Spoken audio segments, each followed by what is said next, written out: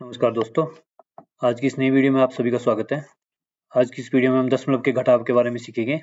हम सीखेंगे दशमलव की संख्याओं को आपस में कैसे घटाया जाता है।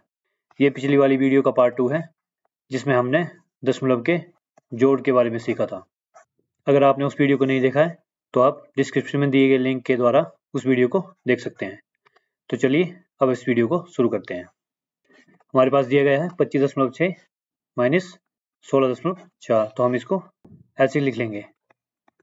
पच्चीस दशमलव छ सोलह दशमलव चार यहाँ पे माइनस का निशान लगा देंगे। हम जैसे कि नॉर्मल संख्याओं को घटाया जाता है, वैसे ही घटाएँगे इसको भी। तो छः में से चार गया तो कितना बचा? दो। यहाँ पे पाँच और यहाँ पे छः है। यहाँ से दो में से एक अंक ले लेंगे। तो यहाँ पे क्या हो जाता है? पंद्रह। पंद्रह में से छः गए। नौ। अब यहाँ पे एक ही बचा है। एक में से एक गया तो ज़ीरो ही बचेगा। अब यहाँ पे दशमलव के बाद एक अंक है तो एक अंक छोड़ के दशमलव लगा देंगे। हमारे पास क्या आ जाएगा? नौ दशमलव दो। तो चलिए अगला क्वेश्चन देखते हैं। इसमें हमारे पास क्या दिया हुआ है? इक्कीस दशमलव ज़ीरो ज़ीरो एक माइनस सात दशमलव एक आठ। तो हम इसको सबसे पहले ऐसे लिखेंगे।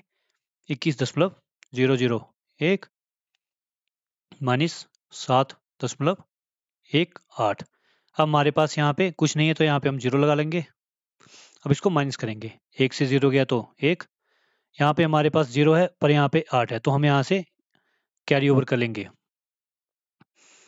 यहाँ से एक यहाँ पे आया तो यहाँ पे दस बन गया, पर यहाँ से एक और हमने यहाँ पे ले लिया तो यहाँ पे नौ रह गया और यहाँ पे दस हो गया। तो दस में से आठ गए, दो और नौ में से एक गया, आठ। दशमलव वैसा का वैसा लगा लेंगे। अब यहाँ पे ज़ीरो बचा हुआ है तो एक इधर से ले लेंगे। यहाँ पे क्या हो जाएगा? दस दस में सात गए, तीन, और यहाँ पे एक बचा हुआ है, एक को इधर लिख लेंगे। ये हमारा आंसर हो जाएगा। तो तिरानवे दशमलव ज़ीरो सात पाँच माइनस तिरसठ दशमलव सात नौ दो। तो इसको ऐसे लिख लेंगे, दो सौ तिरानवे दशमलव ज़ीरो सात पाँच माइनस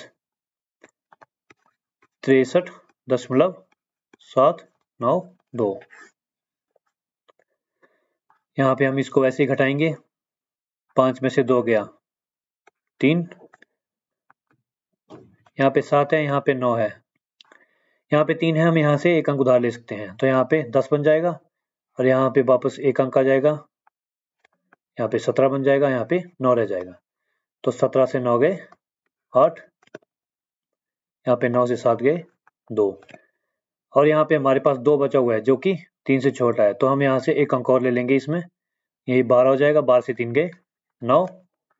और यहाँ पे आठ बचा हुआ है हमारे पास, आठ से छः गए। दो और दो, वैसा का वैसा ही आ जाएगा। हम यहाँ पे देखें कि दशमलव के बाद कितने अंक हैं। तो यहाँ पे हमारे पास तीन अंक है तो यहाँ पे तीन अंक छोड़ के दशमलव लगा देंगे। तो ये हमारा आंसर है। तो दोस्तों, ये थी आज की वीडियो। मैं आशा करता हूँ कि आपको मेरे द्वारा सिखाए गए सवाल समझ आते हैं। अगर आपको मेरी वीडियो अच्छी लगती है तो आप कृपया अपने दोस्तों के साथ इसे शेयर कीजिए और मेरे चैनल को सब्सक्राइब भी कर लीजिए ऐसी बेहतरीन वीडियोस को देखने के लिए। इससे अगले पार्ट में हम सीखेंगे कि दशमलव की संख्याओं को कैसे गुणा किया जाता है। आज के लिए इतना ही। धन्यवाद। जय हिंद।